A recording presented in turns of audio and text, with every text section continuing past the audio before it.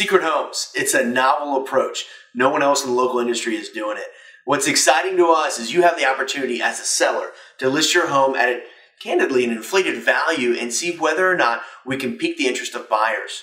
There's a lot of value to you as a seller to leverage this unique program that we have.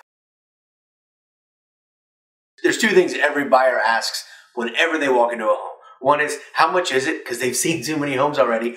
And the second question every time is, how long has it been on the market? In a local DC market where everything sells quickly, why is it still on the market? That's one of the beautiful advantages of the secret homes is there aren't the days on market. The way price friction works is when the purchaser comes into the home, remember there it's a private viewing. They've come in, we're not on the open market and they want to know what the price is. We tell them what the price is, and we're not accepting anything less than that price. And if they counter back at that, we're able to say, you know what? We haven't even gone on the open market yet. We haven't even tested the market. That's why we're doing the secret home. So the price friction is very, very important as far as being able to go at that higher price point and testing it and not having any days on the market. With Secret Homes, you're able to take advantage of our full marketing suite. Everything from the printed brochure to the online blast page, the personalization of your community page as well. If the buyer's out there, we're going to find them, especially leveraging our unique technology with our drone photography and videography, uh, with the wide angle lens that we use to capture your home.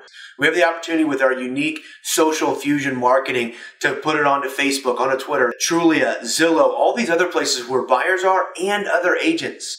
One of the unique concepts is our top 20 blast. 80% of the business is done by 20% of the agents. We want those agents to know about your house and as Nicole said before, to have that price friction.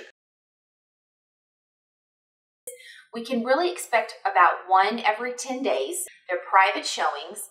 There's a combo box on the door, no sign in the yard, and they'll contact James or myself for us to set up the showings.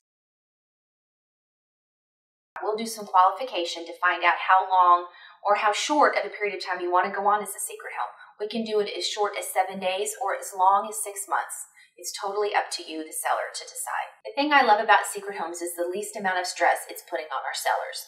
You don't have to be ready every day for someone to come see the home. We're only looking for qualified buyers. We're only looking for one buyer. You know, the last two homes that we sold through Secret Homes sold for full price with no closing costs. A big reason for that was it was qualified buyers, there were no days on the market, and we could truly leverage price friction with no sign in the yard.